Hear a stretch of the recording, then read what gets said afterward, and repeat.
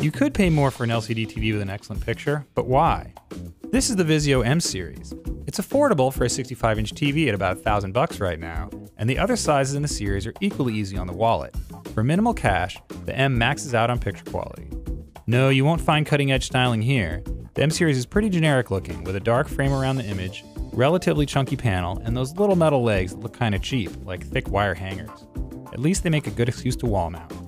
Vizio's menu design lags behind the competition too, with minimal apps and no customization. You can use its Chromecast built in feature, however, to easily control streaming apps like Netflix, YouTube, HBO Now, and more from your phone.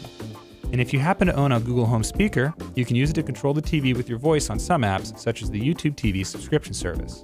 Okay, Google, play CBS. Okay, playing CBS from YouTube TV on CNET. The main feature extras on the M, however, relate to image quality. This is one of the cheapest TVs compatible with Dolby Vision HDR as well as HDR10, formats that deliver the best home video pictures available today. And local dimming, which maximizes contrast by selectively illuminating different areas of the screen, really helps HDR shine. In my side by side test, the M series outperforms some TVs costing a lot more. Its black levels were deep and its colors accurate, providing a rich picture even in demanding home theater environments. It's not the brightest TV in its class, but it's still fine for just about any bright room.